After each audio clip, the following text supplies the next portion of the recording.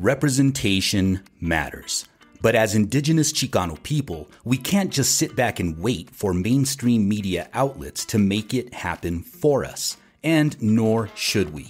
We started the Tales from Aztlantis podcast because we believe that it is imperative for Chicanos, Chicanas, and Chicanx people to produce our own media and tell our own stories.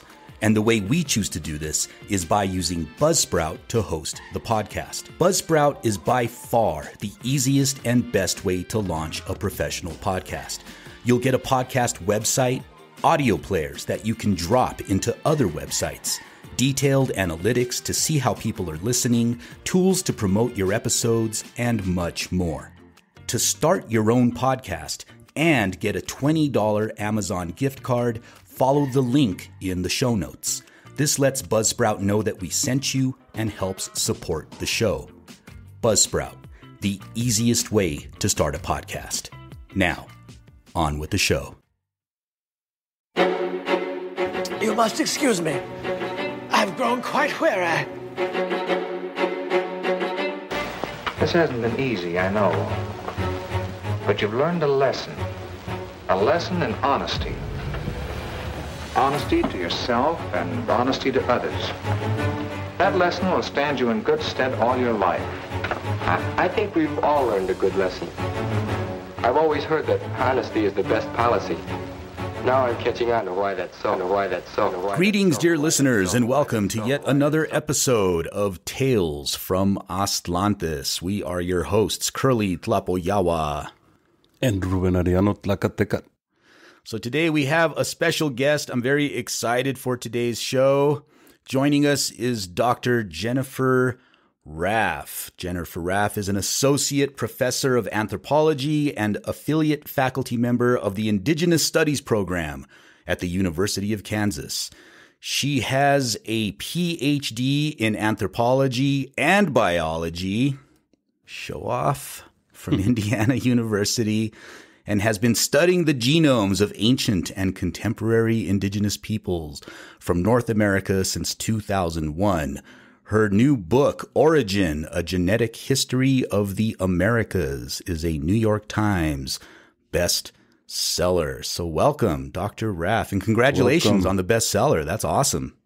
Thank you so much. It still hasn't really sunk in, so happening to somebody else, but it's exciting. So how does that happen? Do they call you or or do you get like it just pops up on online on some list? I got an email from my publisher, and I was in the middle of a meeting on. Um, it was on public scholarship at the university, right? So we're, I'm on this um, in this wonderful program where we're doing trying to encourage public scholarship. So I'm in this panel, and we're talking about this and that, and then all of a sudden this email flashes across, and I'm like, it was really funny. I think I, I really freaked out. That's awesome. Do they send you like a plaque or something? No, um, but I did get some. I did pay a ridiculous amount of money to get a book review um, printed and framed, and you know, like a nice plaque on that. So I paid for that. So I first became aware of your work, I think in 2016. You had done a talk at Skepticon, and I caught it yeah. on video. Uh, it was the misuse of genetics in pseudoscience. And since pseudoscience and pseudohistory and pseudoarchaeology, that's kind of like my jam. Um, I was like, oh, wow, I got to watch this. And it was a great talk. And then I heard you, I think you appeared on ArchaeoFantasies, uh, the ArchaeoFantasy podcast. And so I was like, oh, wow, I got to, I wonder if she's on social media. So that's when I friended you. I like on, on Twitter or something. I followed you. But yeah, the, the, the talk was great. And in the talk at Skepticon, you refer to what you called pseudogenetics. Um, I was wondering if you can explain what do you mean by that? What what is Yeah, I- pseudogenetics? I don't know if that's the best word, but I was kind of riffing off of pseudoarchaeology, right? So, like, how do you use genetics to support pseudoarchaeological ideas or pseudo-historical ideas? And you know, we see unfortunately all too many examples of that, and they range from kind of the wackiest, right, which are like, um, I don't know, um, gosh, it's been a while since I thought about this, but like. Uh, DNA from aliens or angels or whatever, you know, um, ne- Nephilim. Yeah, the Nephilim. yeah, that's always fun. Um, so like that sort of thing to you know s- stuff that legitimate archaeologists are putting out there, but is not supported by the data at all, like the Solutrean hypothesis. There was a paper a while back um, that argued that haplogroup X, which is one found in um, indigenous peoples of North America at kind of low frequencies, right? There was an argument that that was evidence for the Solutrean hypothesis, because of course you see haplogroup X lineages in Europe as well, Mhm. but of course they are not ancestral to the ones in found in, in North America. Yeah. Uh, well, for our listeners who don't know, what what is the Solutrean Oh, hypothesis? Yeah, sorry. So the Solutrean hypothesis is this idea that the Solutrean culture in Europe, which dates to, oh God, I didn't prepare uh, the dates, uh, Upper Paleolithic sometime. Uh, yeah, yeah. okay. Um, dates, it predates Clovis by quite a bit. And the argument is that because um, Solutrean projectile point, points um, are bifacially flaked uh, using this overshot technique. Mhm. I don't really know what that means, but you can explain it. It's and so are Clovis points, which of course date to about 13,000 years in North America. That there's a there's an ancestor descendant relationship between them, and so therefore Solutrean uh, Clovis points were actually the technology was actually brought by Europeans migrating across the Atlantic, um, and yeah. so Yeah. there are a lot Was this before or after the aliens introduced the technology to the Solutreans? You know, I'm not sure actually. I'm not sure. I guess I probably after. I don't know. I don't know. So, what, what part of Europe would this have been the Solutrean um, culture? they were. Oh God, I'm sorry. I didn't come prepared for this. Uh, they were. So they were in Western Europe. So like I want to say um, Iberia. you Yeah, know, it was Yeah. Iberian Yeah. peoples. It's Yeah. it's funny. One of my uh, mentors at the University of New Mexico was uh, Dr. Lawrence Straus, Hmm. whose main area of expertise is Iberia. And man, if you wanted to uh, get out of homework or the lecture, just bring up the Solutrean hypothesis, and that guy would just go off for like the entire class. But it was super Yeah. informative because he knew how to just dissect it and tell you everything that was wrong with the Solutrean hypothesis. Yep. Yep. So there's there's arguments against it from an archaeological perspective. There's you know, and then there's also arguments against it for a genetic perspective. And so um, Deborah Bolnick, my postdoc mentor, and I wrote a paper refuting that, and it actually became pretty um, well cited, which I was, I was surprised about because I was mostly I mostly wrote it because I was pissed off. So, we can confirm that the Solutrean hypothesis is pretty much dead at this point. Well, there are people who still believe it. I do not. I, the vast majority just find it to be. well in terms of like in people who are serious about their work not not these um, pseudo historians pseudo archaeologists that want to continue to massage their pit theory you know with Yeah. serious scholars it's pretty much dead there are a couple of serious archaeologists who oh still really Yeah, one of them is even associated with the Smithsonian, which is Oh, well, such a. are you drag. serious yeah he passed away. Oh, passed did away. he? Yeah, Oh. yeah, yeah. I didn't know But that. yeah, um, so that that um, but there are still others who who maintain that it's it's a viable explanation. But I would say they're in the minority of North American archaeologists for sure, for sure. Um, but it's interesting because you know, and then they try and marshal genetic evidence to support it, which is just you know, and I can get into why it doesn't support it, but um, and so that's that's been going on, and you know, it just kind of pisses me off. I mean, I guess I shouldn't bring my emotions into this whole field because that's one of the problems with our field, right? Is that we all get attached to our ideas. you have to be dispassionate about your work Yeah, but I do feel I do feel passionate about this. Yeah, so, you, you can't help but be. I mean, this this uh, podcast is like a manifest manifestation of our of our passion Yeah. uh, about our work. Well, so I want to uh, you know talk about specifically some stuff that you go over in your book because the book, first of all, the book is great. I really enjoyed it. It's very It is. Um, accessible.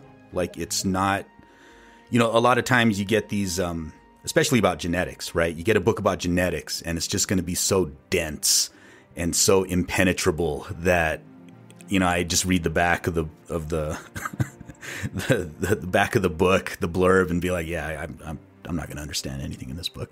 But your book is written very plainly, um, so and it's very personal too. I mean, you bring yourself into it, and you explain thoroughly the different mechanisms and processes that are at play in terms of the genetics and how things are done, and and you you do a, a really good job of um, blending both the academic approach and also uh, a more sort of uh, layman's approach to to the uh, the scholarship that you're working on. Oh, thank you guys. You're making me blush. Really, the audience well, can't see it, but I am turning red. well, one of my favorite quotes, and I keep I, I want to attribute it to Malcolm X, but I'm not sure if he said it. But there's this this quote that I like to use a lot that just says "Make it plain," and that's always been like what I try to do with my writing, right? Just make it plain. Don't don't write in like this obtuse fashion with all of these yeah. all the nomenclature of the of jargon. The yeah, all the jargon. That's the word I was looking for. Well, we definitely write in our field, at least in anthropology, anyways. Really, you fetishize the jargon, right? And and yeah. It doesn't it doesn't uh, it has its place. It really does when you're communicating scholar to scholar, right? You know, I think it can be important, but I um, that's not who I wrote the book for. yeah, this is very accessible to the general public, which is good because the public needs to know about this. Yeah, it's, I think it's time that that, and I try to, you know, as a, as a historian, I teach um, uh, American history, and in the first half of American history, we always start with Native people before contact, before the European arrival, and I try to explain these things to students, and and it's useful to know that, and I tell students from the very beginning, I tell them these conversations are still taking place. Nothing is set in stone. Indigenous people have their own versions of who they are as a people, where they come from, their origins. Scholars, they have scientific approaches, and these two things don't have to be in conflict. They have, they can be in conversation. And the science is always evolving and, and, and it's also correcting itself. And so because something is true scientifically now doesn't mean that it's going to be true a year down the road or five years down mm-hmm. the road. Oh yeah, definitely. I agree. And I think that's fantastic that you teach that. I, you know, it's funny because when I was working on this, like I really struggled with trying to figure out, okay, how am I going to talk about these scientific approaches in a way that's respectful of indigenous histories, right? Differ. I mean, sometimes they don't differ, right? But sometimes they do. And like, how do you how do you talk about that? And I think a lot of my non-native colleagues would just kind of shy away from it or okay, like one sentence, like, okay, this is, you know, here's what we're talking about. But like, I didn't want to do that. I wanted to really talk about it more throughout and kind of hold space for all these different perspectives on the past. Um, even while saying, okay, look, I'm a scientist and here's the data that I, mm-hmm. but also like pointing out, archaeologists mm-hmm. do not agree about, about yeah. interpreting the archaeological uh, record at all. yeah, yeah. I mean, it's it's it's kind of hilarious. So, like, I'm going to the SAAs for the first time in forever, the Society for American Archaeology meeting for the first time in forever, and I am really looking forward to the lively discussions we're going to have about, like, say, the White Sands site, right? And yeah, yeah, for yeah. sure. So that's going to be interesting. Um, so you know, I say, you know, people can look at the same data sets right. and come up with different interpretations. Right? It's the same and, in history. So we do that already in mm. science. Mm. Yeah, we do that already in science. You guys do that in history. And so I don't see, you know, a reason to ignore the fact or minimize the fact that indigenous peoples have their own histories. And mm-hmm. I try to call them histories, not origin stories, right? Because I think that kind of minimizes it. But nice. at the same time, you know, how do we present all this in an integrated way? I don't know how to do it. But. Well, so Ruben had brought up teaching, um, and I remember when I was in school. See that nice segue? You like that segue there, Ruben? Mm-hmm. Um, so when I was in school, I remember learning about the Bering Strait, right? Um, and I think most people, I don't know, we're probably all around the same age here, more or less. We probably heard the same story about the Bering Strait, about the peopling of the Americas. But I was wondering if you could go into a little bit about how was it that people first even became interested in the peopling of the Americas, right? Like people who tried to explain, you know, all these Europeans landed here and they're like, holy shit, who are all these people that we're seeing? Um, what, you know, what sparked their interest and what are the different ideas that they had? Yeah, great. Um, so yeah, well, that's exactly what they were like. They were like, "Holy shit, these people aren't on the Bible." Yeah. what does that mean, right? um, so yeah, and so I think the European there were multiple perspectives who quote unquote I'm doing air quotes here Indians were right and all kind of um, you know they were all underlaid by like really ridiculous racism like really horrible racism and so a lot of the perspectives were on okay well well, here's these people. We don't know who they are, but obviously there were people here earlier because we see these beautiful mounds. We see these beautiful, you know, um, in South America and Central America, we see you know structures that are made up, whatever. So, um, and beautiful artwork. Okay, well, Indians couldn't have made these, so who? It must have been people before that, right? Mm-hmm.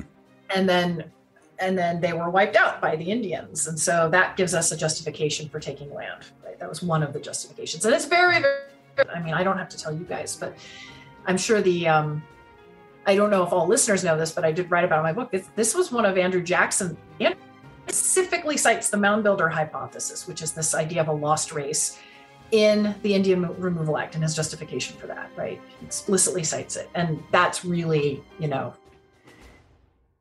if anybody doubts that these ideas of aliens or Solutreans or whoever, right, are coming in and um and and we're here before indigenous peoples like if they doubt that that's harmful you mm-hmm. know i mm-hmm. just point them back to this i say look this is what this is the history um, there seems to be a disconnect between the anglophone world and the hispanophone world in this because jose costa you mentioned him in your book and i encountered him when i was doing my uh, doctoral work as well he was the very first person that, as you say, was looking at it from a biblical perspective because everything was based on the Bible. If it's in the Bible or if it's not, and they were checking to make sure that that indigenous people were mentioned, and if not, why not, and and how can yeah. we explain it, right? And so Acosta is the first one that begins to say, well, perhaps these people were originally from Asia and they migrated through what is now called uh, the Bering Strait, in the, along those lines uh, in, in that part of the world. And he was saying this mm-hmm. very early on in the mm-hmm. 1500s. And and then we have a disconnect that that takes place, and then here we we uh, fast forward to um, Thomas Jefferson, who in his notes in Virginia, being famous for many things, uh, one of the things is that he's he's kind of credited as being the person that starts the the white supremacist rhetoric here in the United States, right? In that in that book, and and one of the things that he's doing also, he's trying to explain because he's responding to those European scholars who uh, denigrate anything that comes from the Americas, right? It's less than, it's not as equal to, it's inferior to anything that's European. And so he's responding to those people, right? And there's a disconnect. He's trying to come up with a, an idea, and he also has it kind of independently. He says, well, there had to have been some kind of migration from mm-hmm. the old world. And so I'm, I'm, I'm thinking that there, there's, there seems to be this this disconnect between what people in the Spanish speaking world were doing versus what the the English world were doing that there's a lack of communication taking place because these conversations were already, already being had. And so by the time you, you come to the Mormons who are positing that Jesus walked among the Indians who were one of the lost tribes of Israel there seems to have been all this previous knowledge that was forgotten that was already taking place. And it seems like we are kind of reinventing the wheel so, can you explain how that is? Like, what, is what is what is going on there with with that the difference between the, the two spheres of, of knowledge? I don't know that I have a good explanation for it. I mean, I'm not a historian of science, so I feel like even I'm even outside of my area, right? But you know, what it strikes me that the mound builder hypothesis is just so popular just because it's so convenient, right? It at least in North America, right? It partitions indigenous peoples into this role of another immigrant, just another immigrant group, right? Mm-hmm. And and gives settlers an excuse to remove them from their lands and to take their lands and use it better, right, for farming and and also to relegate their ancestors to the realm of natural history as opposed to ancestors, right? So I'm sure that that contributes to the appeal of this idea and the um, among scientists because these were the leading scientists of the day believed this, right? Um, but as to why it's different in North America than South America, I don't know. I mean, I, you know, honestly, like as a I'm, I'm really hyper focused on the United States or present day United States, and I'm really ignorant of of the line in South America. I mean, I have Da Costa in my book, but you know, not not enough. I don't. Right. So this is something I would love to read. Somebody write a book about. Why don't you write a book? That's our next book. yeah, do it. Well, so when we talk about Beringia, right? Because, like Ruben just mentioned, um, there was this idea like, well, these people had to come from somewhere. And what I've noticed when I when I speak to people is most people, and I don't know if you encounter the, the same thing, but most people conflate Beringia with the ice-free corridor. Like they they mix up the two. So Yeah. when they hear criticism of the ice-free corridor, they're like, "Oh yeah, so the Bering Strait theory's been debunked." Like that's that's always the the answer, the thing that I hear, and I'm like, "Well, they're they're two different things." Um, Yeah. I was wondering if you could um, explain for our listeners the difference between Beringia and the ice-free corridor. Yeah, I have some trouble with this because, you know, in my book, I start by critiquing the Clovis, what we call Clovis first theory, right? The idea that this Clovis techno complex that is represents the material culture, the very first peoples of the America, right? 13,000 years ago, that they came across the Bering Land Bridge very quick, very late, just in time to get to the America, uh, North America by at most 14, maybe 13,000 years ago. Um, and as you say, down an ice free corridor. Um, so I am a critic, obviously, of that. In fact, most archaeologists and most geneticists are as well. But and and I don't think this that model has been debunked for decades in archaeology. Now there's still some holdouts. There's still some archaeologists who believe it's it's the most plausible explanation, but for most of us, it's not really the way we think about the peopling of the Americas. But it somehow has gotten conflated with what I see people calling the Bering Strait theory, right? And I'm looking over at my my book review on the wall because the headline that okay, and this is not the author's fault. He did an amazing, wonderful. Oh, yeah. I, I love the review of my book. Oh my I, god, I wanted to talk about that headline. I was stunned when I read it. Like just literally sat. Okay, this is. I promise this is going somewhere. So the headline is: Did the okay? I can't see. Did the first Americans? Okay, now I can't read it. It's on. uh, it's about- did the okay. first Americans arrive via land bridge? Yes, This yes. geneticist says no. Yes. And when I read that, I was like, "Oh God damn it!" I know, I know. So obviously, I didn't write that headline, and and and I know the author didn't write that headline. It's always an editor who does this, and I'm Mhm. not faulting the editor for that, but I do think that it gives a more sensational, controversial take to what my book is really about. You gotta have clicks. Yeah, I did get like, oh, oh, it got clicks. Oh boy, yeah. You should read the comments. I had to stop. It's all about the click. It's all about the clicks, right? Well, you know. Okay, so yes, I do argue the simplistic notion of the of the Bering Land Bridge being a simple, you know, land bridge, right? That people raced across. What I argue, and I'm perfectly happy to be wrong about this, but what I argue is is something that a lot of archaeologists and geneticists have been for a while is that the ancestors of indigenous peoples of the Americas were not just racing across Beringia, but they were living in Mhm. Beringia for an extended period of time, several thousands of years. And we know that they were isolated because their genomes show us this, models of their genomes show us that isolated for a couple of thousand years away from everybody else. During that period that you see the emergence of genetic variants present only in the first peoples and nowhere else in the world except maybe a little bit in Siberia where there was some back, you know, back. I wouldn't call back migration, but migration Siberia. yeah. People were moving back Um, and forth. Yeah, people were moving back and forth a lot. Yeah. So, um, so and then one of the envi- so the environmental reconstructions of Beringia show that like the southern coast of central Beringia, the part that's underwater right now, would have had a relatively decent climate during the last glacial maximum, during the height of the last glacial maximum. That there were plants there, there were animals there, there was warmer um, environment, there were marine resources, right? So it was a pretty decent place to hang out when you're talking about desert, cold conditions everywhere else on you know in the northern hemisphere, and so you know, we don't have direct archaeological evidence of people being there because it's underwater, Mhm. but it's a really plausible hypothesis to test. And so that's for me right now, that's my favorite hypothesis. That's the one I think the evidence supports, or at least it's one that I want to go out and see if we can arche- tr- ground truth it right with archaeological data. That's not the same thing as saying people didn't come from somewhere else.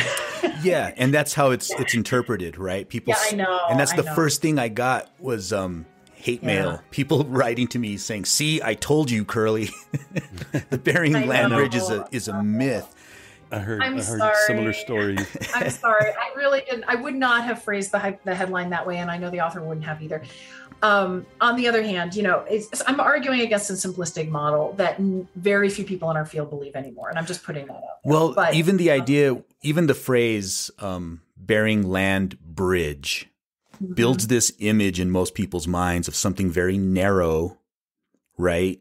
That they just kind of sped across. When in reality, Beringia was massive. It was like, Yeah, twice the size of Texas. Yeah, huge, huge. Yeah. and It's funny you say that because when I was a kid, I, I remember um, one of the social studies books in elementary when they talked about Beringia, like they had an image of like people actually chasing game from Ber- through Beringia. so when you say this, it conjures up those images from back Yeah. then. Oh, Yeah, and that they they got you know into basically Eastern Beringia would be like modern Alaska, Yeah, sort of, yeah, and Absolutely.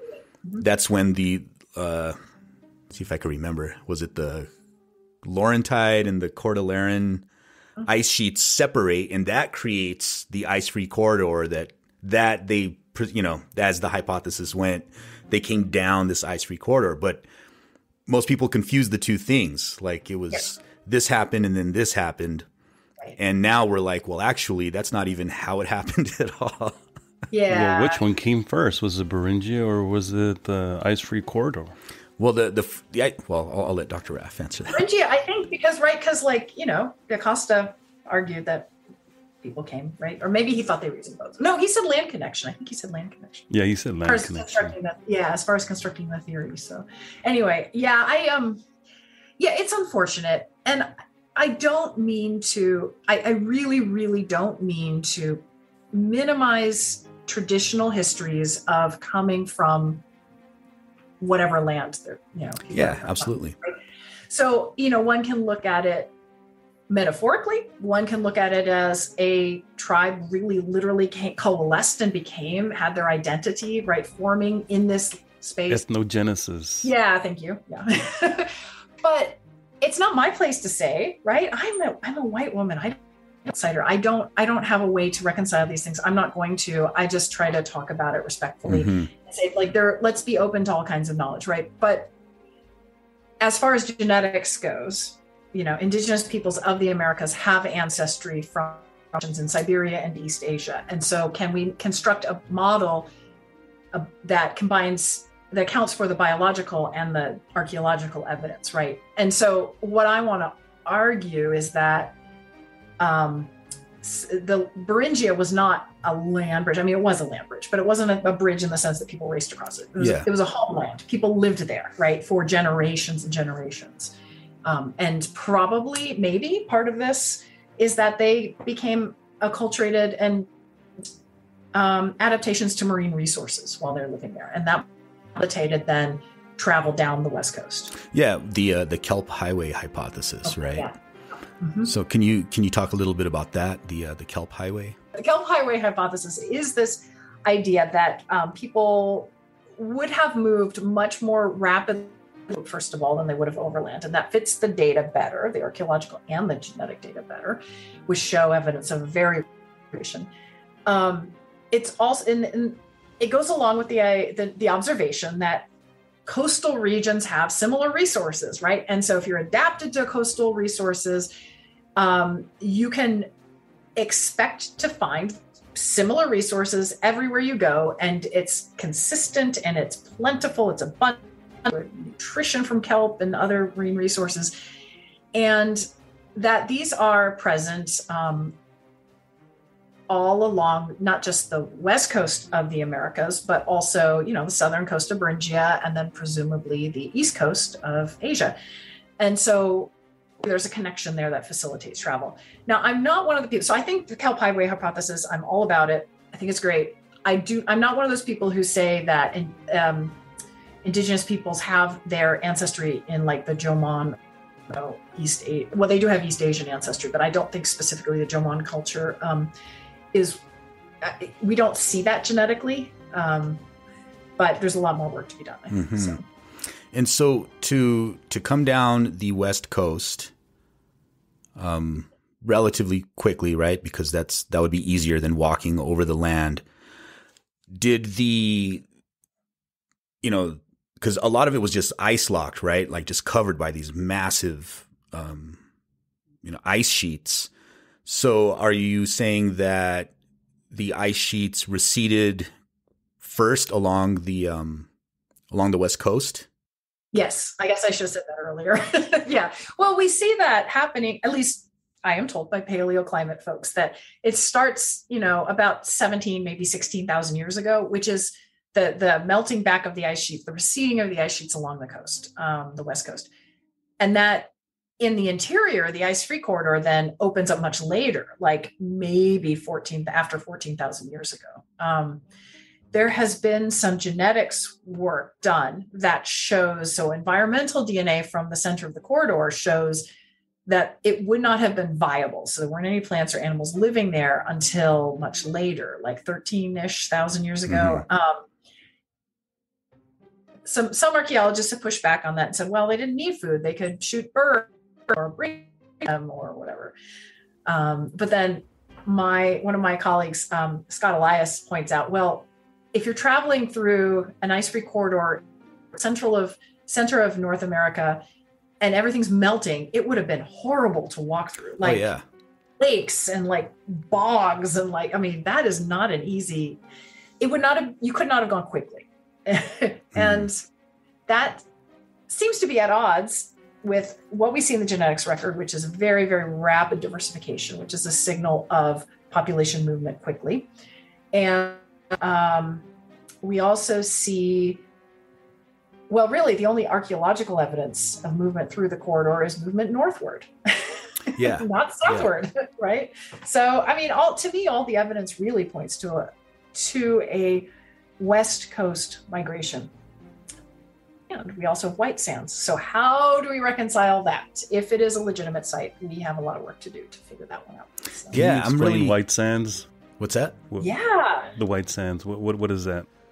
Right. So White Sands, this paper got published just when I was finishing up the book. I was about ready to turn in my final draft, final, final, final dot doc. And then you Um, got a whole new chapter that you had to write. I, well, honestly, you know, the way it happened was I knew the paper was coming because I had heard from one of the authors, and I was like, "Oh my god, okay, what do I do about this?" So I go to my Sean, what do I do? And he's like, "Well, you can put it in the introduction." And then I didn't have time to write an introduction. Like I have an intro, but it wasn't what I was originally going to write. Um, so I was up against a deadline. I ended up getting an advanced copy of the paper and I got to read it, and that was cool. And so I was able to put a little bit of it in the book, but not as much as I wanted. But here's the story about White Sands.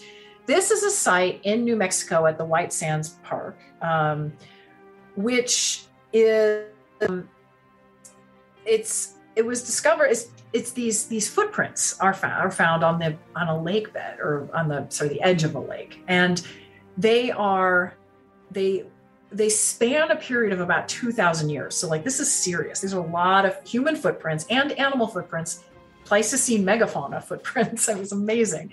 They're just all crisscrossing each other. And um, it dates incredibly to about 20 24 thousand years ago some somewhere in there or 20 20 to 22,000 years like right smack in the middle of the peak of the last glacial maximum when nobody is supposed to be in the Americas everybody is either in Beringia or maybe somewhere else in Siberia. And and yet we have these footprints. And it's human footprints with Pleistocene megafauna, and they're incredible. And they're like children's footprints. They're children and young adults, um, in at least in this one part of the of the park. And they're showing doing kid stuff like running around and jumping and you know chasing each other and walking There's even like uh, adult footprints, and then you see like kid footprints appear. Like if the adult was carrying the child Uh-huh. and they set the child down, and Yeah. the kid's like running around, and then they pick them back up, and then it's just adult footprints again. Yeah, Wow. it's like you just can't. I mean, and, and so I knew these were coming. They've been described to me. I was already thinking about okay, how to this with genetic evidence, right? And then somebody sent me the paper, so I was kind of you know in my intellectual mode. And then somebody sent me the paper, and I saw the pictures, and I was.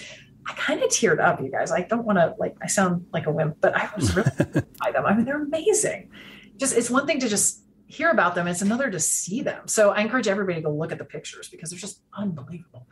Well, I know that. Well, hear me hear, hear me out real quick. I'm, I'm sorry, Carlene. Oh, you've been trying to say something for a few minutes, but I'm going to drop the bombshell. Uh-oh.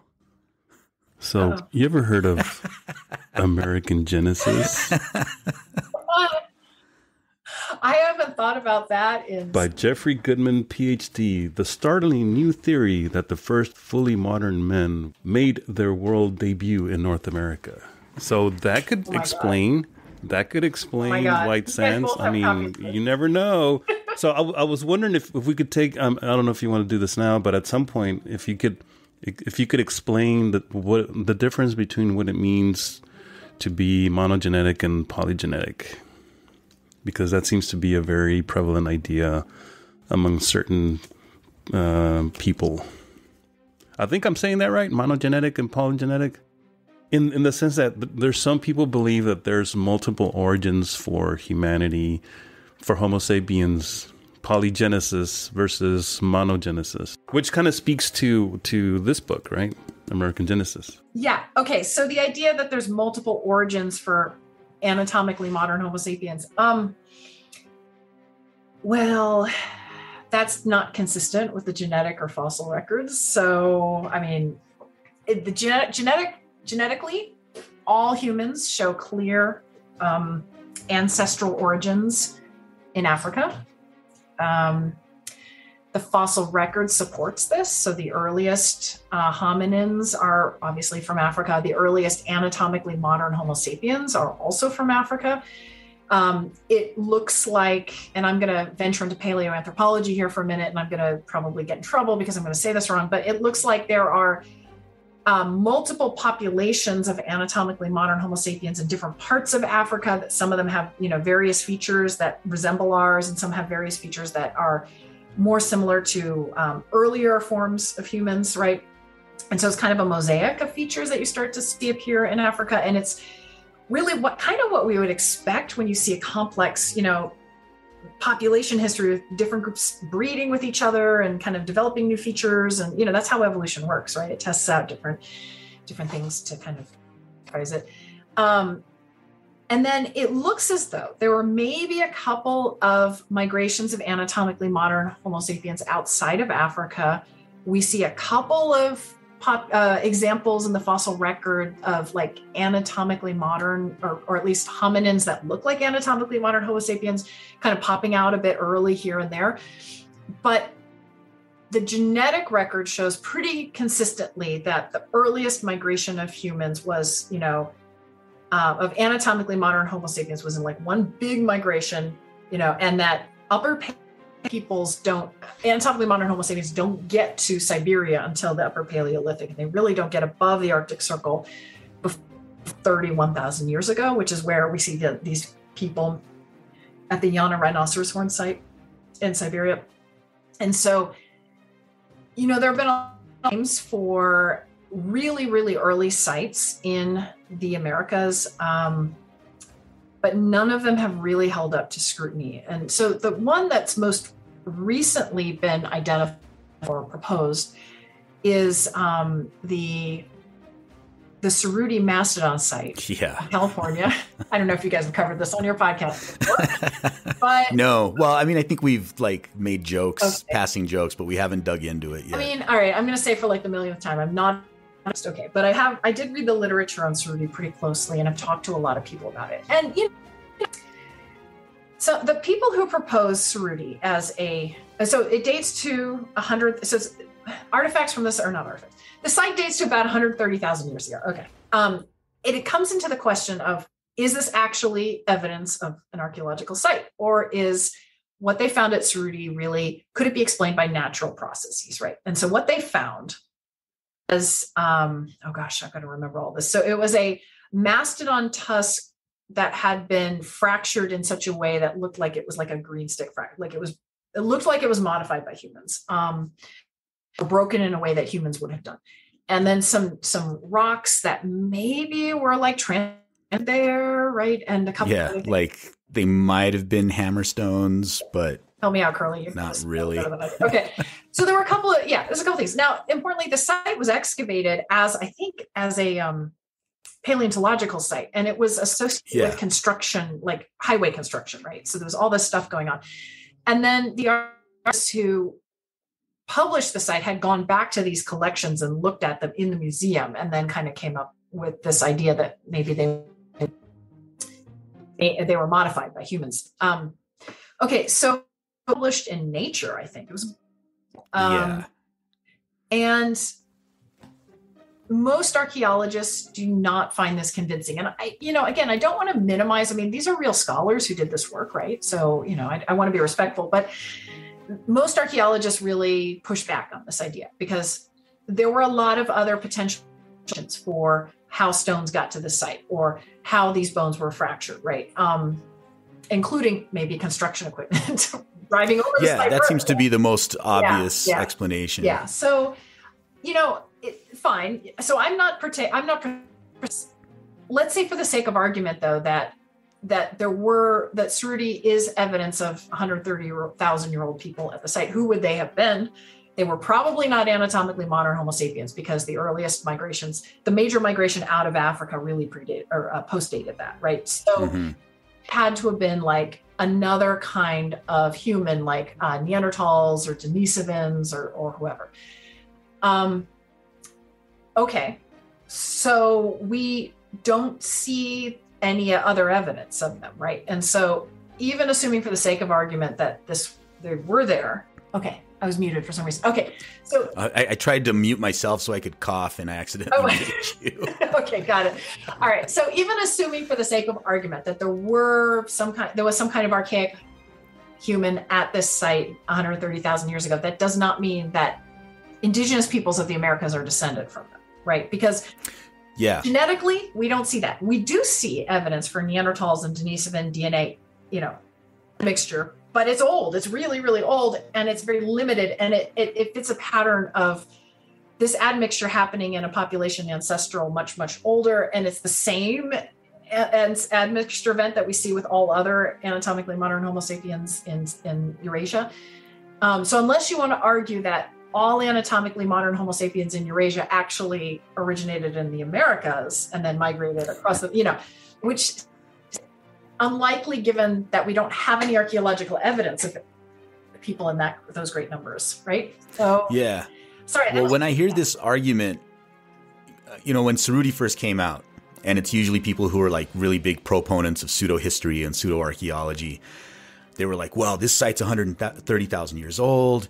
Therefore our ancestors because it's usually with other indigenous peoples that i'm having these conversations with and they're like so this means our ancestors have been here you know for at least 130000 years. And i'm like well if and it, you know, like you said it's a big if the this is actually accurate that you know people caused this fracturing and that that this is you know evidence of people here 130,000 years ago. They wouldn't have been our ancestors.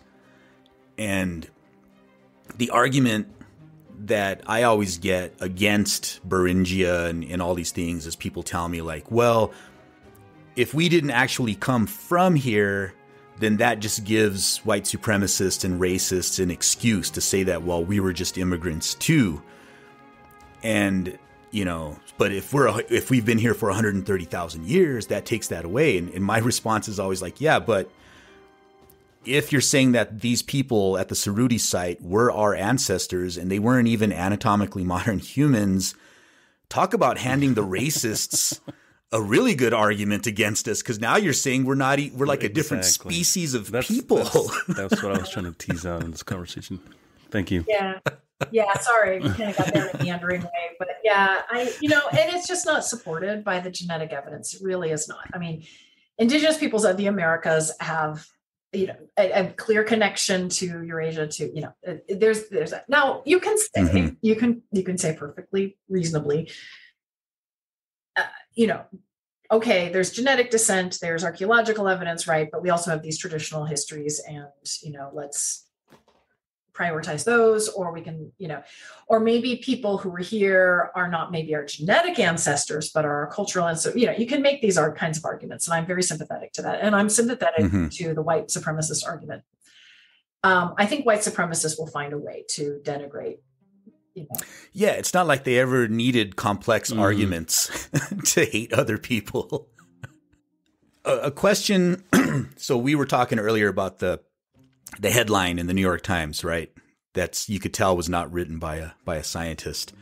Um, and I see this happen a lot with popular science writers or the headlines for stories. They kind of they make it like a sensational headline and it doesn't really accurately reflect what's in the story and it leads people to kind of misinterpret or misrepresent what's in that story. And I see this a lot. I get this article sent to me um, a lot. And the headline is There is no DNA test to prove you're Native American. And, you know, obviously, if you read the story, they're talking about you can't just take a DNA test and then go around claiming membership in a sovereign indigenous nation. Like it doesn't work that way. Sovereign indigenous nations have criteria for who qualifies as a citizen of that nation.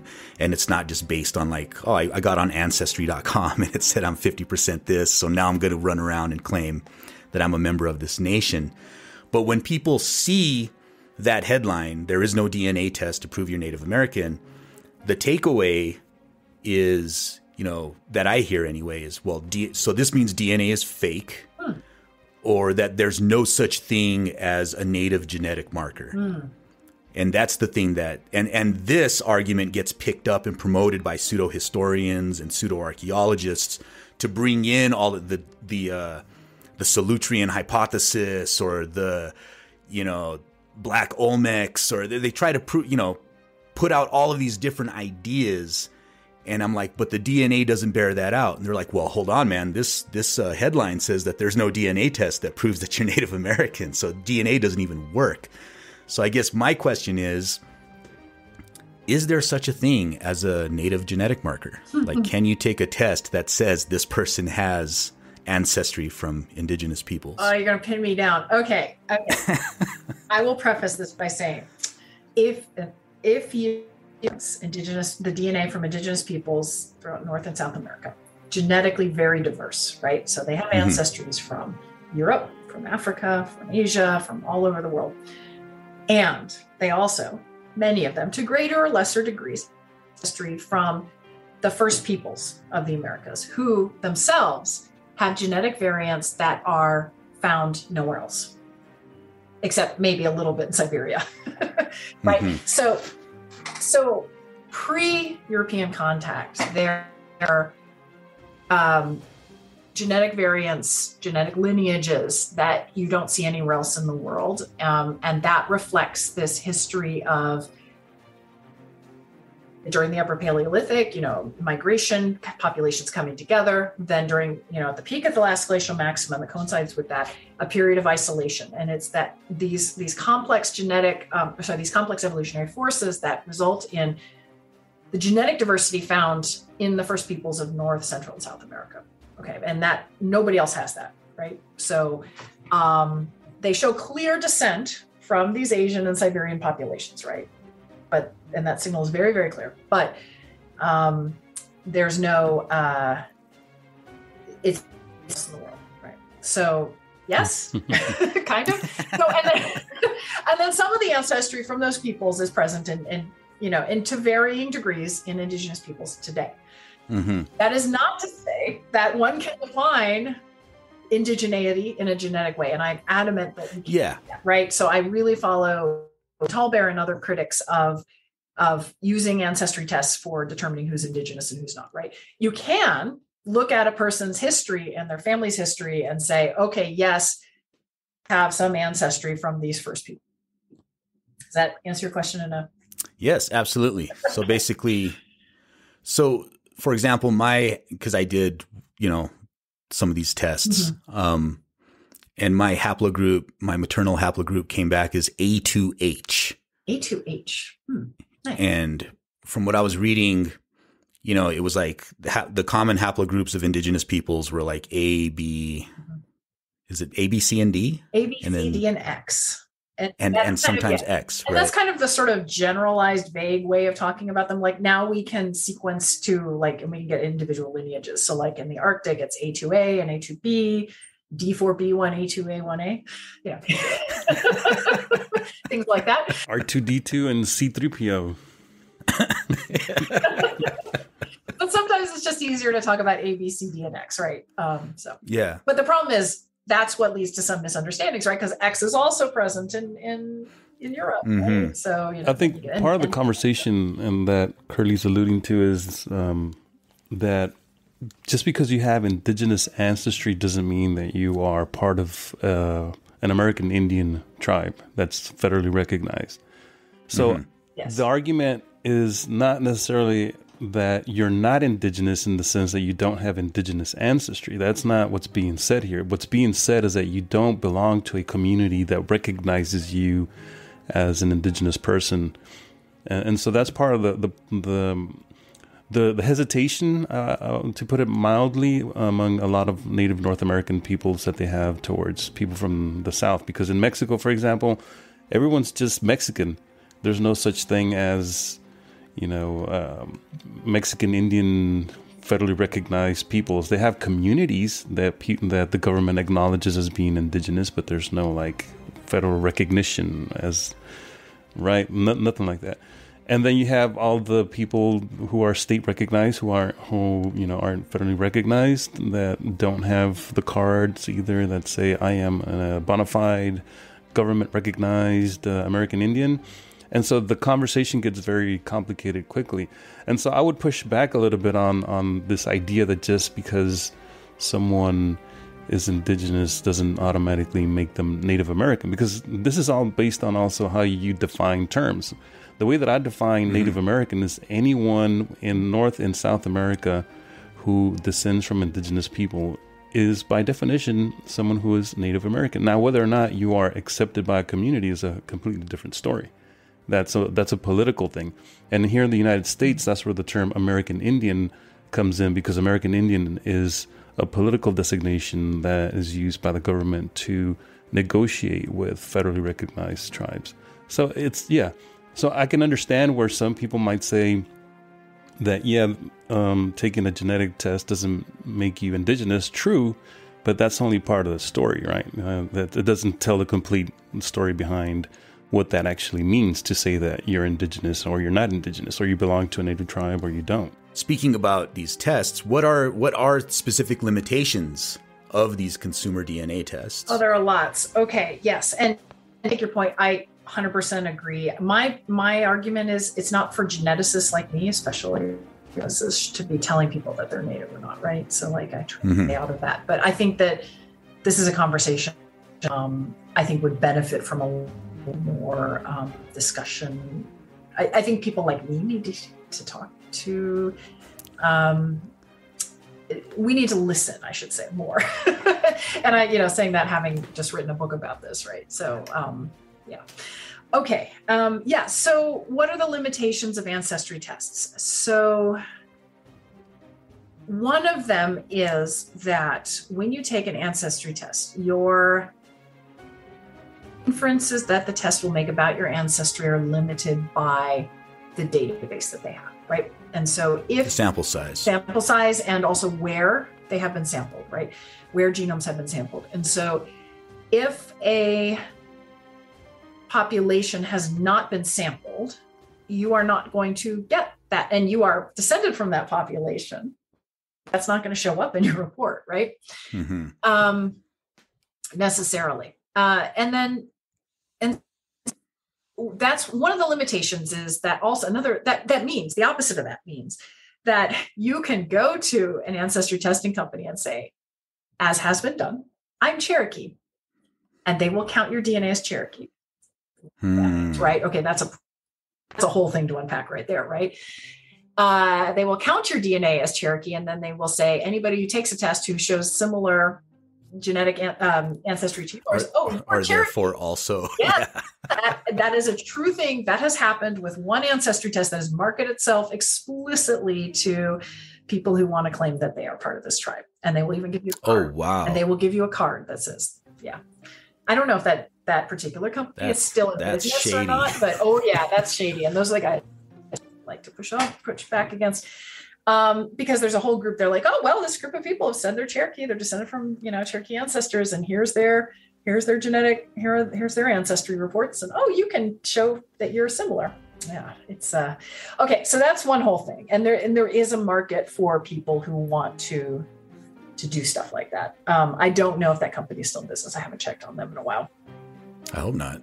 Yeah i don't know. I should check. Um so that's a that's a limitation. Another limitation is um, for most of these companies when they return results they're comparing your dna to the database of genetic variation in population as they are today okay? That may or may not be true when your ancestors were there right? That may not be what the genetic variation was like you know 100 years ago 200 years ago three you know however long you're going to go back it might be in many cases it is but in some cases it may not be so unless they're explicitly including ancient dna in their in their in their um uh, in their databases and saying, okay, look, here is a, a, a ge- genome from an ancient person who was present in, let's say, Sardinia at this particular point in time, and that you know you show that descent from that population that that person's part of. Therefore, you have that.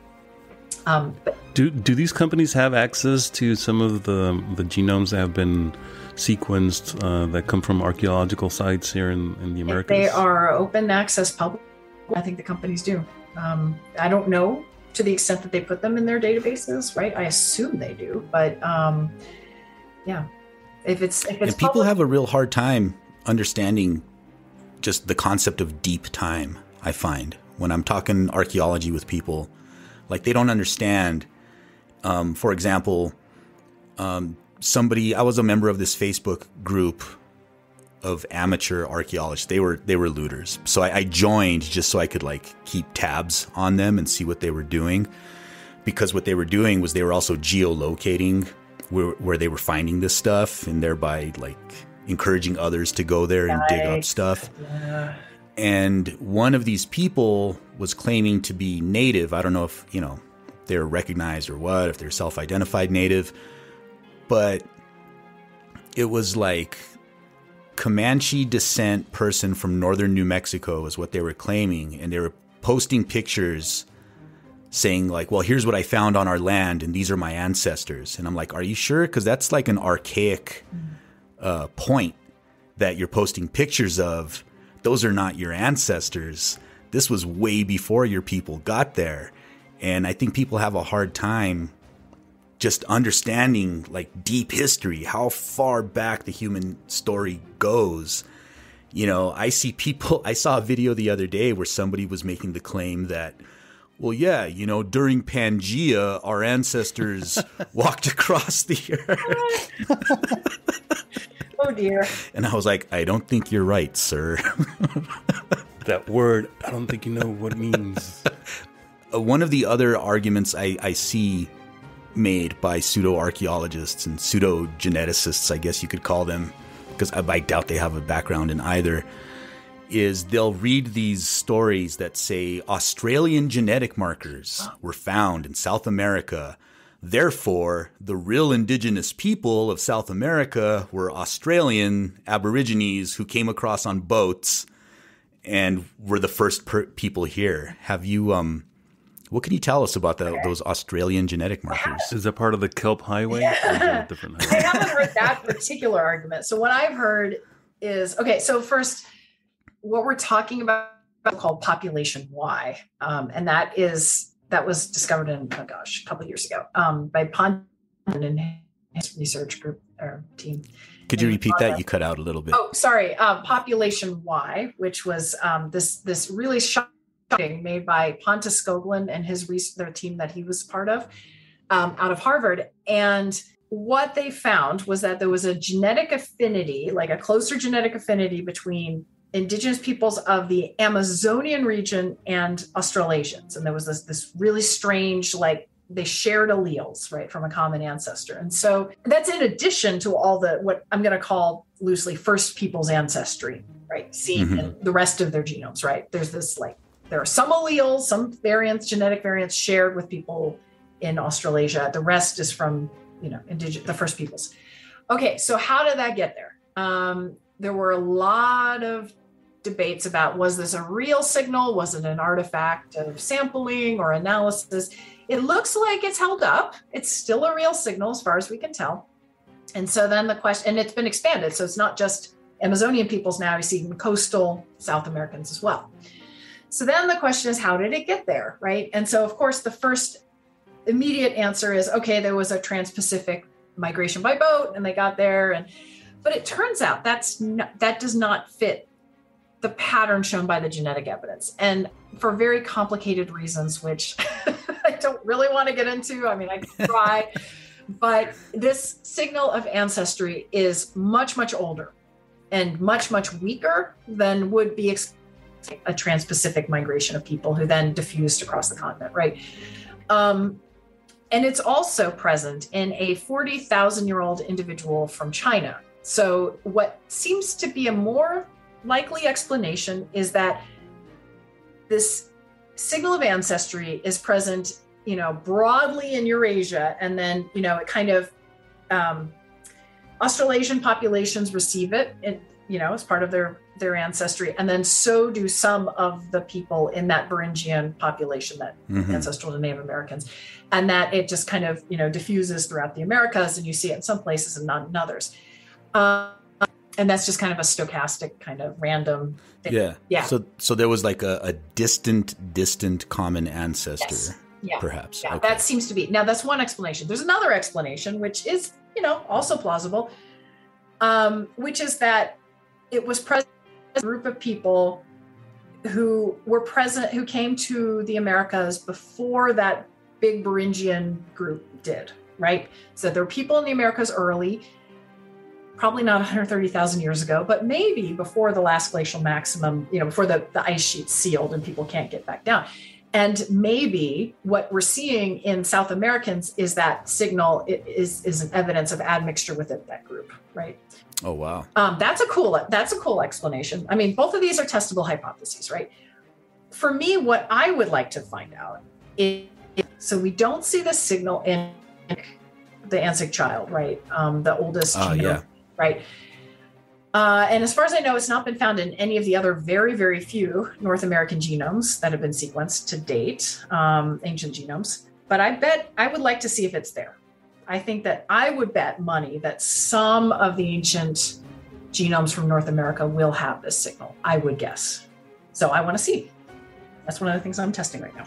That's, that's Um, we'll I'm see. excited to see the results I mean, of this me test. too. I would love to see it. We're, we're a little ways out from that, but you guys all like So that. nothing a la Thor, Heyerdahl uh, type of uh, traversing the oceans. Yeah, I, I, I don't really buy that as an explanation. I mean, who knows? Uh, these are all testable hypotheses, and so let's go. Well, and that's the great thing, right? Is if you have a, a hypothesis that you can test, Mhm. then you can show, you know, what, what the conclusions are going to be of that. Uh, just recently, I don't know if you're familiar with the work of Anne Cyphers. Mm-mm. She's a Mesoamericanist. She just did. Uh, she was able to recently do a study on uh, the DNA of Olmec remains. Oh, I should know this. and she concluded that the origins of the colossal heads are Mesoamerican, that it's not Phoenicians or Africans or, you know, a, you know, uh, Japanese. I've heard, uh, Japanese. yeah, I've heard Japanese. I've heard Tibetan. I've heard African. I mean, it's all, you know, nonsense, but she did, she was like, all right, I'm going to settle this. Hmm.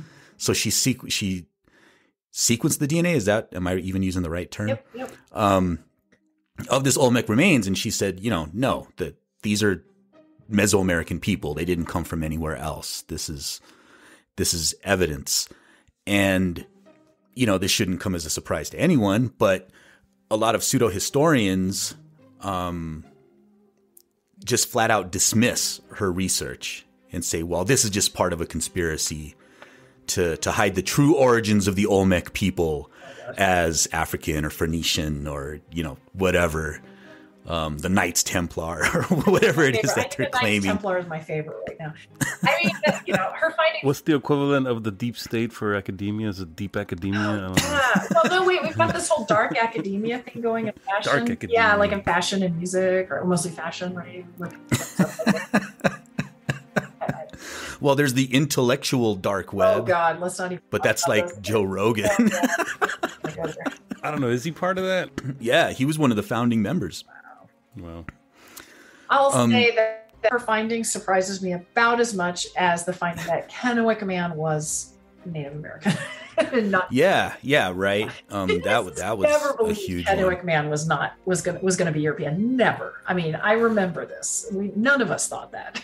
Yeah. Well, and then the the original reproduction looked like Patrick Stewart. I remember, Stewart. I know. It's, and I was like, wait, so Kennewick Man was like on the Enterprise? I don't understand what's going on. Alien But like this, this gets to NAGPRA, and I think Ruben had a specific question Oh, yeah. about. Right. So Uh, at the beginning, at the beginning of your book, uh, you mentioned the topic of repatriation, and um, which refers to the return of artifacts and human remains to Native people through NAGPRA, right? Which stands for Native American Graves Protection and Repatriation Act, which has been around for thirty something years at this point, right? And you know, as someone who is becoming intimately involved with uh, this work of repatriation through the Indigenous Cultures Institute and the Miakan Garza Band of Coahuiltecans down in San Marcos, Texas, I was curious if uh, you could tell us a little bit how uh, NAGPRA intersects with uh, your work as a geneticist. Yeah, great question. So I am all in favor of NAGPRA. I think it needs to be stronger, actually, and, and updated. But and I think there's a movement to do that, so that's good. Yeah. Um, right. So I think you know my feelings on this have changed since I was a grad student. When I was a grad student, you know, I was just not. I didn't really understand the issues well, um, but in doing work with mentors, um, including my graduate mentor and later and my postdoc mentors, and kind of learning and working with tribes, I have seen the benefits of NAGPRA and how important it has been to sort of redress the harms done by these collections and in creating these collections and maintaining these collections of ancestral remains and artifacts and objects, sacred objects. And I think um, the fear was on the part of archaeologists and, and others that by returning these to their rightful, you know, um, stewards, that would prevent research from happening. And I think that in my experience, the opposite is true. I think there has been more research done and more understandings learned um, from.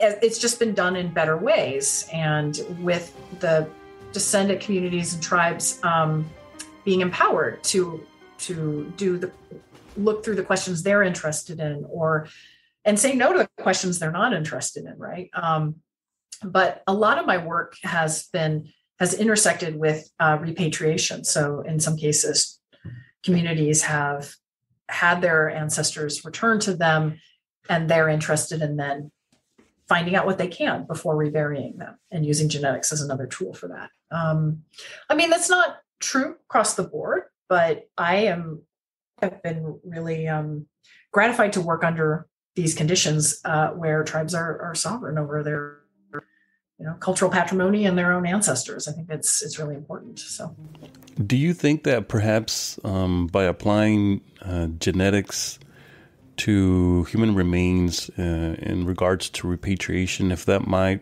pose an issue with certain tribes that want to reinter remains and then through you know genetics it's found that perhaps they're not necessarily descendant from those ancestors that they want to repatriate. And you think that might pose an issue in the future of NAGPRA in, in regards to reinterring remains yeah, I think that's always a danger, right? There's so so you can't make assumptions about what you're going to find out before you do the work, right? Um, and so I think it's on the onus is on geneticists to be extremely clear, right?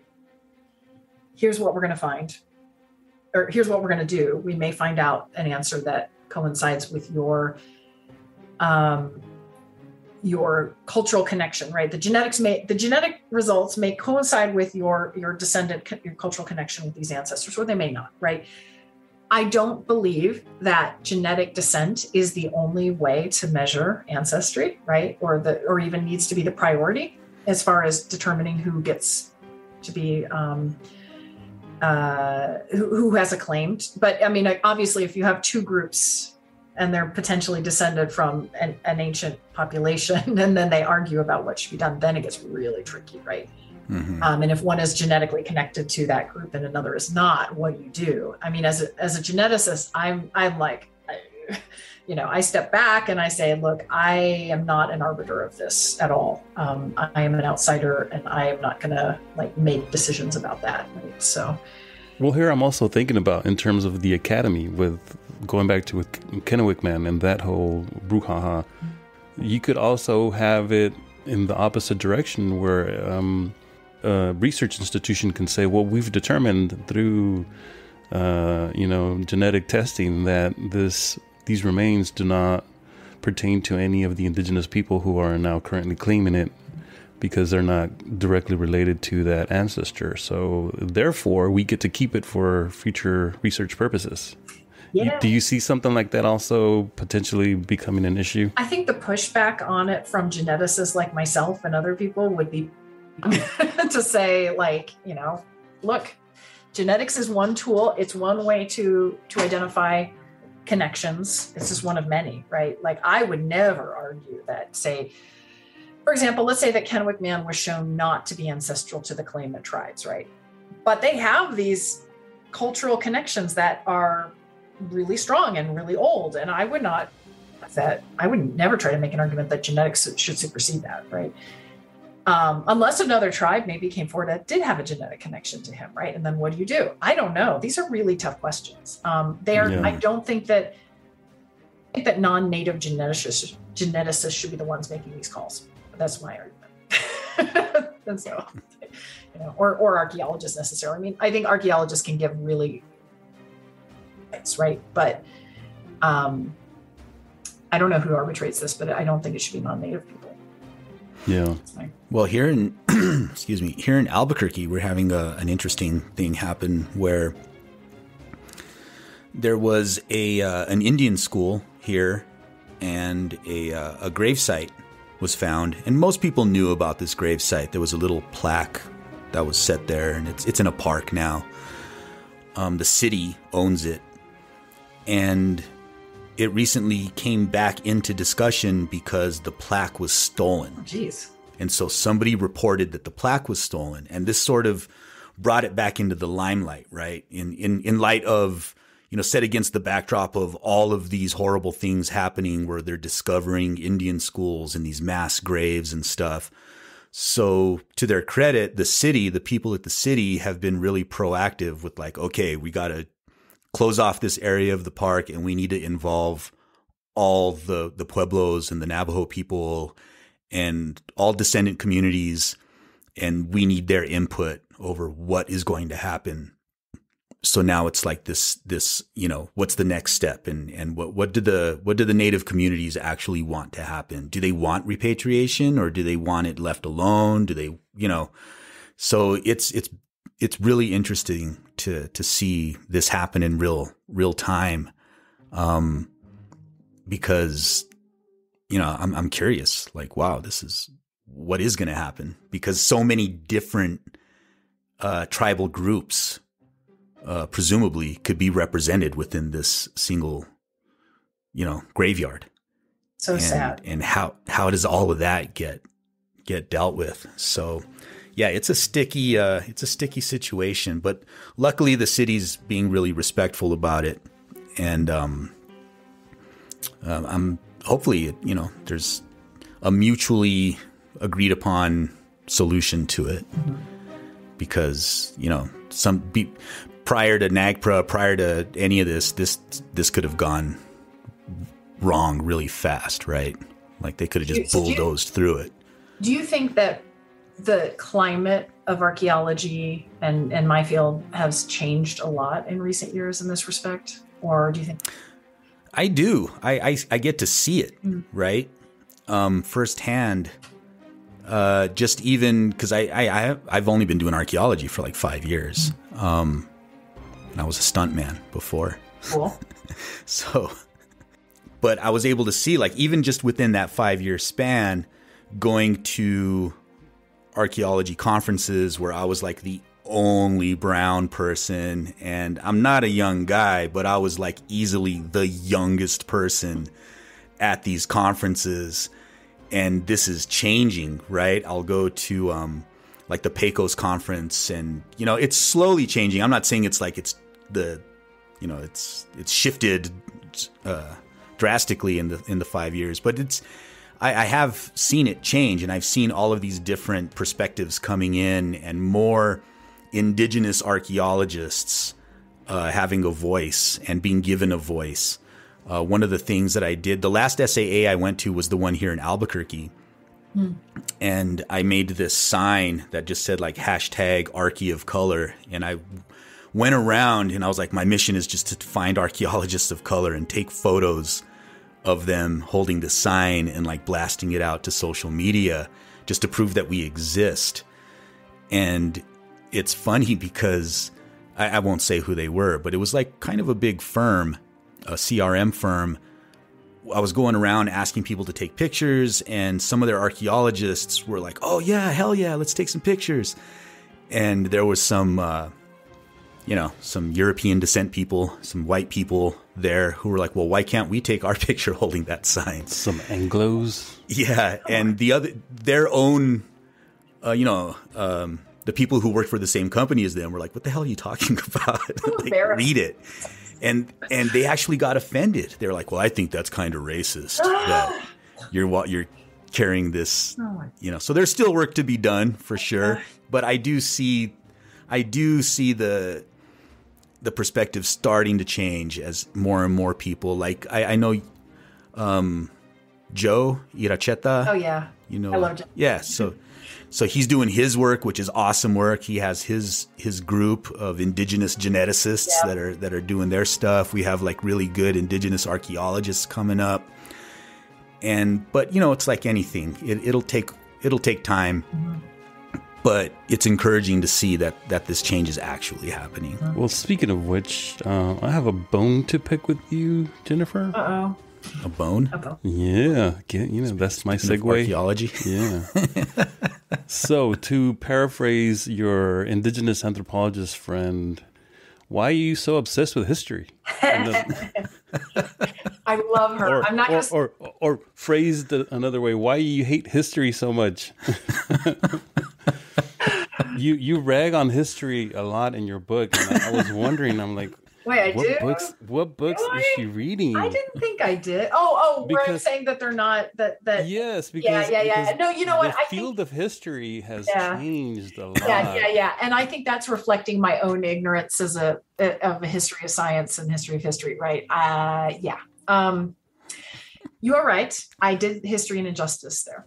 Um, and, I, and I can only explain it by saying that, you know, I'm looking at textbooks that are coming out of, you know, high schools and they're not the ones I saw anyway were not good. Okay. Okay. Well, But I know that historians are much, much, you know, better. Were all the, these textbooks out of Texas? I Hey, that wait a probably, minute. to be honest, Wait a probably. minute. I went out, so I was writing about this. I, you know, I'm like, okay, where do we learn our history if we're not historians, right? I'm not arguing against historians. I love historians, but when I, I, I when I, I was like, okay, where do we, where do we learn our history, right? And we learn it in high school, most of it, like the formative years, right? Unless you go on to college and say, study it. And so I went and looked at history books for high schools. And yeah, there's some stuff about, you know, pre-contact, na- but it's really not enough. And Yeah. I was disappointed, and then I got mad and wrote a bit of a. Okay. Well, that, that- that's that the origin of question. and I, I, I Right. fully accept that I perhaps did not. I definitely did not do justice. Yeah, because I mean the, the the the field of history, sure, it used to be racist. It used to be very uh, Eurocentric, but just like anything, um, it it changes with the times, and that's what I, one of the lessons that I tell my students is that history is not static. It's a field of study that changes and, and that is reflective of our current moment. Because the ultimate question in history is not just who, what, when, where, but why. In other words, so what? Why is this important to us? And and it's important to us because it says something about who we are in the present moment. And so, post the civil rights movement, especially go, you know going into the late 60s into the early 70s, the the field of American history in general just started to shift, and that's when you, you begin to get calls for African American history, Asian history, uh, Chicano history, things like that, and all those different trends that emerged from the post uh, quote unquote post civil rights era, all those informed future histories. And so by the time you get into the, the 80s and especially into the 90s, history has become um, more balanced and less racist and more inclusive in general. I take. I would encourage all the listeners out there to seek out actual monographs written by historians. If you have any questions, you can hit me up. I take your point, and I apologize to historians. I did not mean to slight you. It is it is the high school books that I was. I took offense. I'm so sorry. I am. Well, that's okay. I slight historians all the time. uh, before we go, because we've kept you really long, my, my Oh, apologies. it's my pleasure. Um, It's fun. I wanted to know if you have a favorite example of uh, pseudo, what you called pseudo genetics. Like, is there anything that? Favorite is a loaded term. yeah. well, well, I, okay, it's been a, it's been a minute since I read his book, but Graham Hancock tries to marshal genetics evidence, and that's Oh. fun. that guy. we, yeah, we just did a, a Graham Hancock episode. Did you? I got to go and listen to it because I Yeah. yeah I kind of forgotten what's in his book, but I did notice that as soon as my book came out, everybody's like, "Oh, she's confirming Graham Hancock," and I'm like, "The hell I am." Oh yeah, his his stupid book America Before, I Yeah, think it's I have it called. somewhere. I need to go back and look at it. It's just Should that be its own episode? Yeah. Us going through his book and just I would listen to trashing that. it. I would love, I'd love to listen. Well, so I think in your talk at Skepticon, you, you mentioned somebody had claimed to that they had sequenced Bigfoot's DNA. Oh yes, Melba Ketchum. oh my gosh, I haven't thought of it ever. Um, yeah, so Ketchum is a, a she have a background in forensics and veterinary science? I, I think so. Yeah, she's like a veteran. yeah, veterinarian. and she, so she's out of Texas, and she did. Damn it, Texas. My husband's a Texan. I don't want to rag on Texas too much. I, it's a great state full with lovely people. And it, That's very. And I'm a good example of that. yes, there you go. I lived in Austin before moving here to to Lowell. Boo. Oh, I loved Austin, although it was very expensive. Yeah, very. I bet. Anyway, my my husband's family uh, they're very they're very hardcore Texans, and I love them dearly. Um, so Melba Ketchum sequenced. Uh, She was she so she was given um, samples of hair, I think, um, a fur that was collected from Bigfoot's, and she sequenced them and published a That's so paper. amazing. I know. And she published a paper. Gosh, it was a while ago. Um, In what journal? Wait, what? How does it, how does a non-geneticist have access to to that's what The equipment necessary I think, I think to- Kurly knows the answer to, to do that? Which Uh, to sequence the genome of Bigfoot. well, I think she extracted the DNA herself and then sent it like a you know fee for service Oh, company or something like that, or Yeah. something. I don't remember the details, but she so she she sent it to Nature and Science. I think I can't remember. Oh, Got reviews back, and um, it was rejected, and then she sent it somewhere else. Oh, gosh, how did this go? She somehow got some reviewers to agree that it could be published, but then it didn't get published. Like I, maybe it was desk rejected by the editor or something. I don't know. Hmm. Anyway, no, I know. She submitted it to a journal, and they then went out of business. Anyway, she ended up buying a journal. Oh, I don't remember okay. the whole story. She so it's ended in her own journal. she ended up buying a journal, journal. and if you go to it, um, there are two paper. I think only two or three papers ever published, and one of them is her Bigfoot genome paper, and one of them is like a review article that talks about Bigfoots in the Americas and the origin of Native Americans. I think um, it's been a while, so yeah, it's what was that journal? Bigfoot and the origin of Native Americans. Okay, I'm gonna do a Google. Wow. because I got That's that's that's a title. um, sorry, I'm just googling here. Uh, I'd be curious to see what percentage of Native American Bigfoot has in the genome. Sasquatch Genome Project was what it was called. the Sasquatch tribe. Sasquatch. He's like, I'm 36% Cherokee. right? Where No offense, right. Cherokees. Yeah. I'm having trouble finding the actual paper.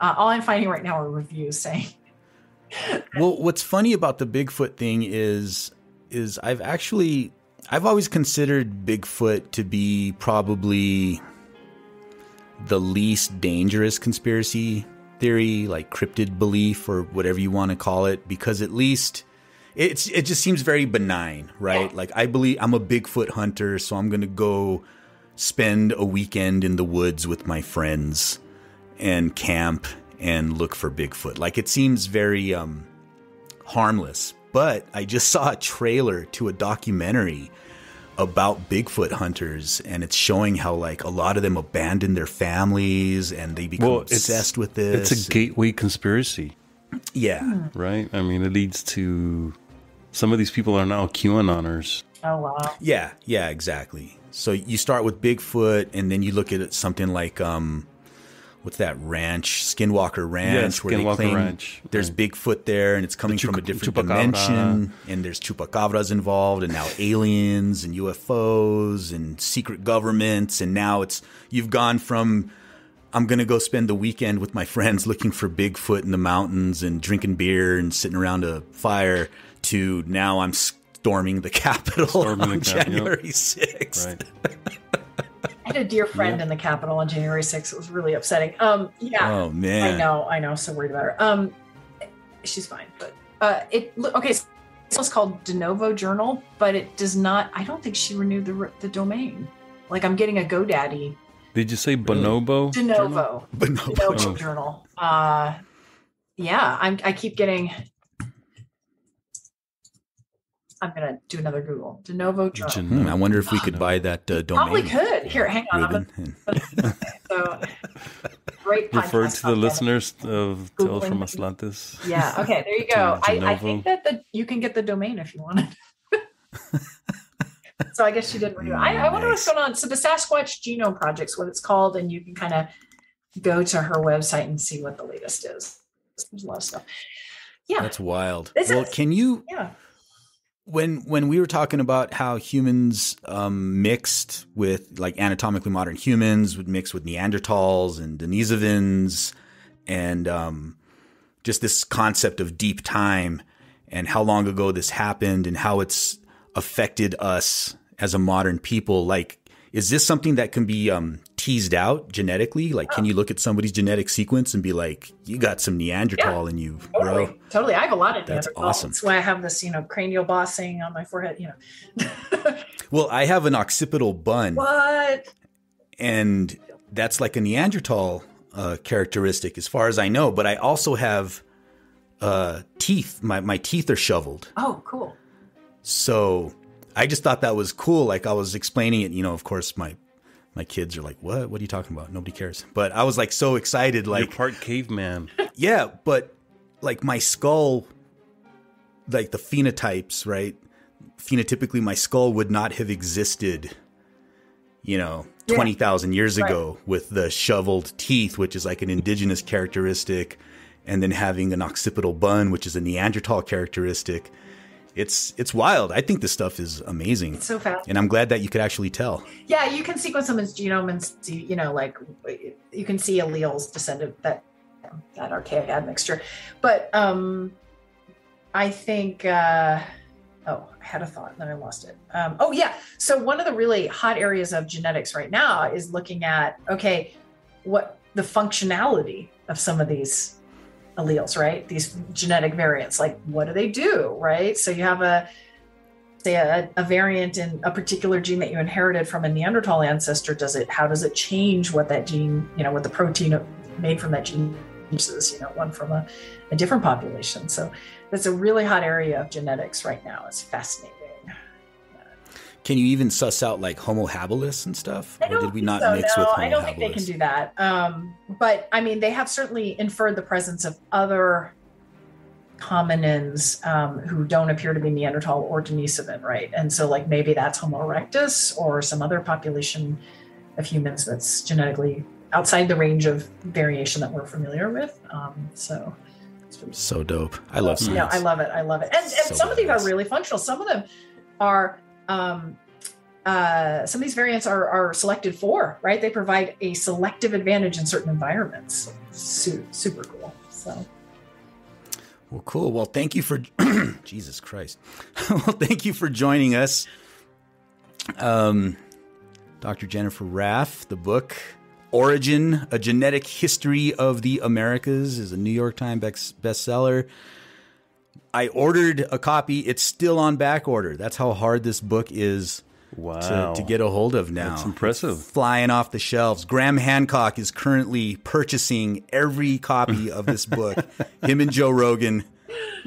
And Graham Hancock has no idea who I am. He doesn't care. Um, I, I sent you guys a PDF, didn't I? Or did I? Did you- yeah, Okay. yeah, Okay. I was just like, I hope I did that. I hope I remember to do that. So, yeah. But I, I want the printed uh, copy. well, I'll sign Right. it for you and say, you know, a thank you in it. If, awesome. Well, thank you so much for joining us. guys, I'm so this is excited. fun. What a great conversation. Thank you Appreciate for being on the show. And remember, the truth is like medicine. It doesn't always taste good, but it is always good for you.